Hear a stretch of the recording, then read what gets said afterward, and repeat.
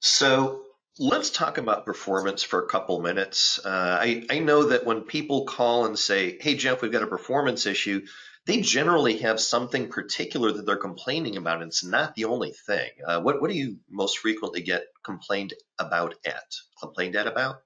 What do people complain at you about? General, just it's slow or um, it set of reports or Power BI dashboards that we have.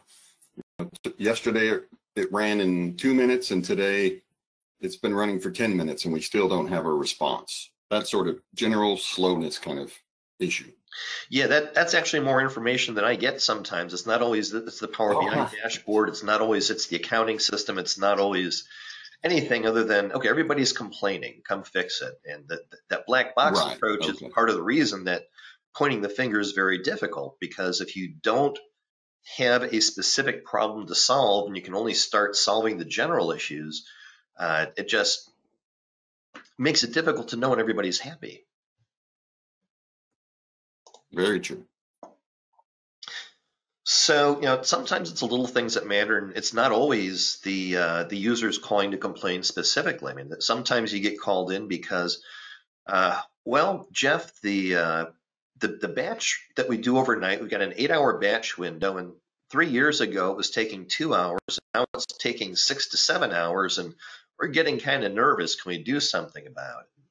Sometimes it's uh, all right, uh, the, the database folks only get a certain window over the weekend to run their maintenance, uh, DBCCs, index rebuilds, whatever that happens to be. Get the Ola Hallengren scripts in there and and get them rocking. Right. It's a it's a it's a finite period of time you're trying to trying to to fit things into.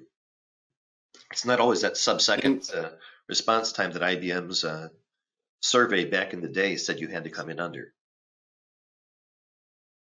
Right.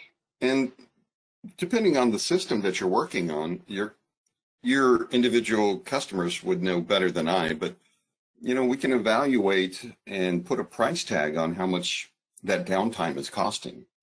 So solving that problem is basically saving you money. And so if you have to kind of wander around with your eyes closed in the dark and feel your way around, the dollar sign is rolling uh, as as we progress.